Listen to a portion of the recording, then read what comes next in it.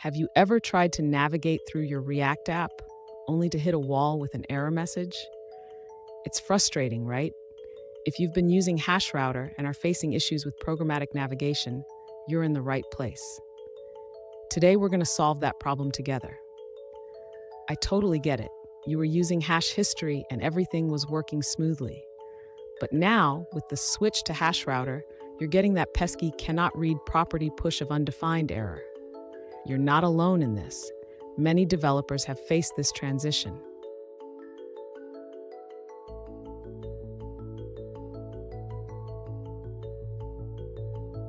Here's the specific situation we're addressing. One user recently asked, how do I programmatically navigate using HashRouter now? They were previously using this.props.history.push, but now it's throwing an error. Sound familiar? Let's dive into the solution. So, what's happening here? When you switch to HashRouter, the way you access the history object changes. This can lead to confusion and errors if you're not aware of the new structure. But don't worry, we'll break it down step by step. And stick around. At the end of this video, I have a pro tip that will help you avoid similar issues in the future. To programmatically navigate using HashRouter, the user first needs to ensure that they are passing the history object correctly to their components. This can be done by using the WithRouter higher order component. Next, the user should check that their component is receiving the history prop. This can be done by logging the props in the component to see if history is included. Now the user can use the history prop to navigate.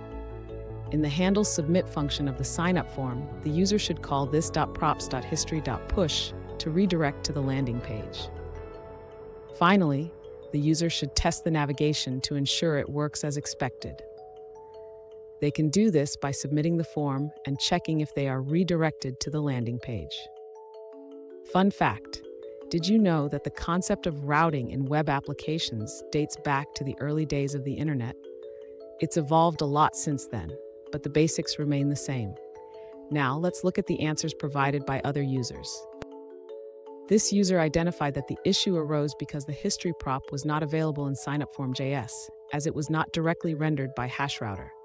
They resolved this by passing the history prop from app.js to signupform.js, allowing them to use this props.history.push for navigation.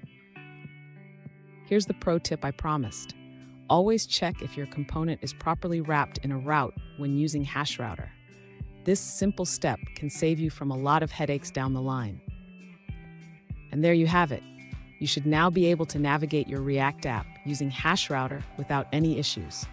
Remember, understanding the structure is key. If you found this video helpful, hit that subscribe button for more tips. And don't miss our bonus pro tip on optimizing your React app.